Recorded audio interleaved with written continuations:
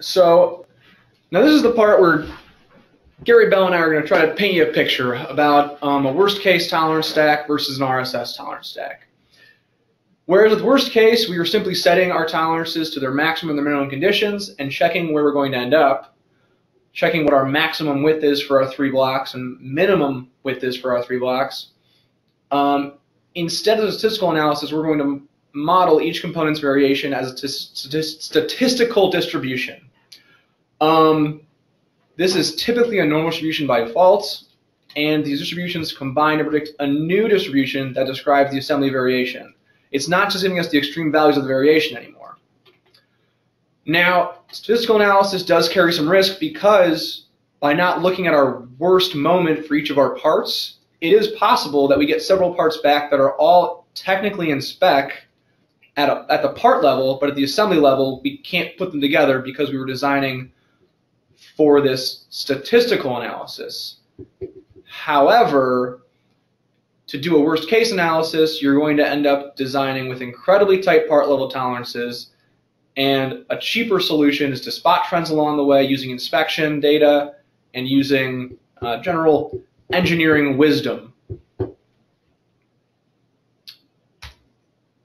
So what do I mean by this normal distribution across the uh, across the tolerance range other than a worst case? So if I'm looking at just this left block, so this is just the blue block, I've zoomed in on the upper right hand corner, and this would be my 9 millimeter block, this would be my 10 millimeter block, and this would be my 11 millimeter block.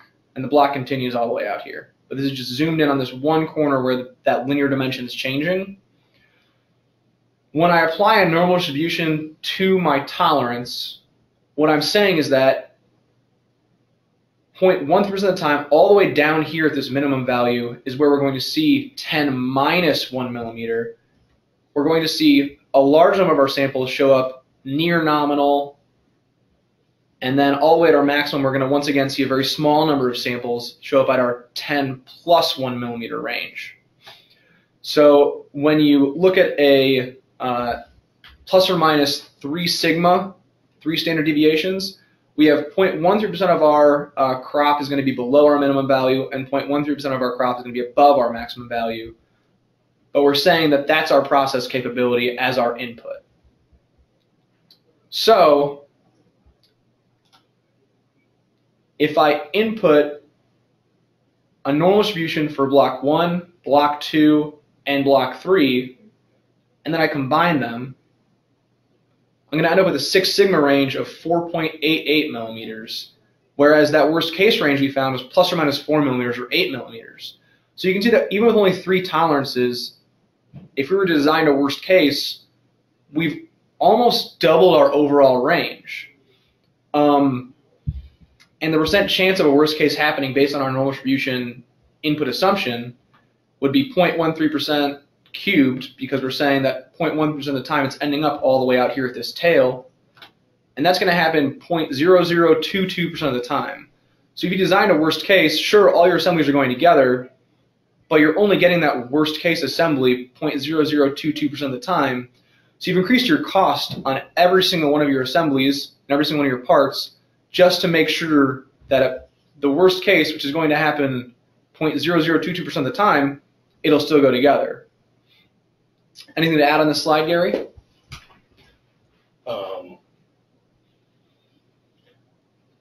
so, yeah, the only other thing would be Spencer's defining the fact that with a normal distribution simulating your part tolerance, yep.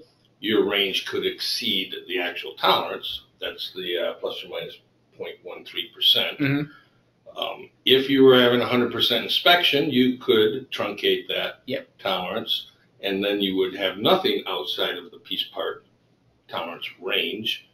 Um, still, statistically adding them, the overall range is much smaller than the worst case range. So you could even start, um, you could design to a solution.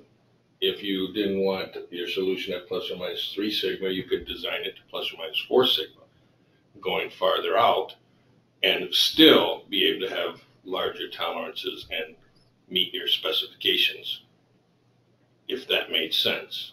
Then your, you know, then your assembly, your assembly requirement, if you went out to plus or minus four sigma, now you're at, you know, ninety-nine point nine nine hmm something percent. So, yeah. And then, it, you know, he's showing you that when you're adding multiple normal distributions, your overall range is much smaller. If you wanted to be more conservative, you can make all your input distributions uniform. Yes. And that will become a little bit more conservative. Um, but it's still not going to add up to worst case. The central limit theorem still tells us that it would add up to a normal distribution or trend towards normal distribution Correct. as you did it. If you think about like rolling two dice, each die is a uniform distribution from one to six, but how often are you rolling 12s and twos? It's not very often. Right. Right. So I usually, you know, I would, I usually try to say design to a normal curve, plus or minus three sigma or plus or minus four sigma. And if you're, you know, still concerned, Mhm. change your input tolerances to uniform and design it to solve your results at that. You're still going to be able to hold larger tolerances and meet your requirement. All right. So now we're moving on to the geofactor analyzer worst case. This is the equation-based solution that 3DCS offers you to quickly report a worst case.